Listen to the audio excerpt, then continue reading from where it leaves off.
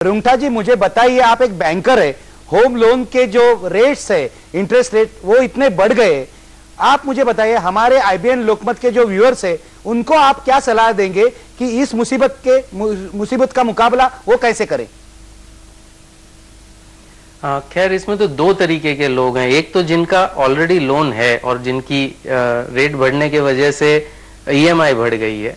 और दूसरा वो जो अब लेने का सोच रहे हैं तो ये तो सही है कि एक निम्न मध्यम वर्ग या मध्यम वर्ग के लिए आज घर खरीदना बंबई में खास करके बहुत ही मुश्किल है। अब रहा सवाल उन लोगों का जिन लोगों ने ऑलरेडी ले रखा है तो उसमें सबसे पहली चीज़ उनको ये देखनी चाहिए कि आ, ऐसा कई बार होता है कि बैंकें आपके लिए रेट बढ़ा देती हैं लेकिन नए कंज्यूमर के लिए रेट कम होती हैं।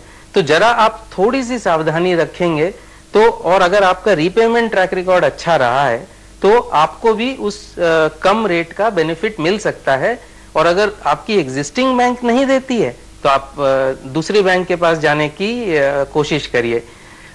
दूसरी बात अगर आपके पास कुछ पैसा है और वो मुश्किल होता है लेकिन अगर कोई सेविंग्स है या आपने फिक्स्ड इंटरेस्ट रेट में फिक्स डिपॉजिट में अगर रख रखा है तो अब एक ऐसा समय आ गया है कि आप सोचिए उसको यूज़ करने के लिए आ, एक कंटिजेंसी रखने के बाद आ, लोन प्रीपेमेंट करने का पार्शियली ताकि आपकी ईएमआई न बढ़े।